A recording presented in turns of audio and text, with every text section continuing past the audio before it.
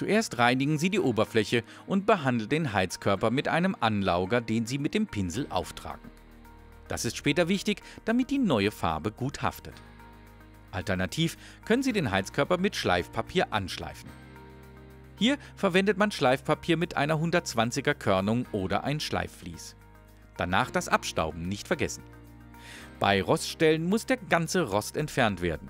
Anschließend werden diese Stellen mit einer Rostschutzgrundierung behandelt, damit der Rost nicht später wiederkommt. Diese muss 24 Stunden trocknen. Danach kann die Lackierung beginnen.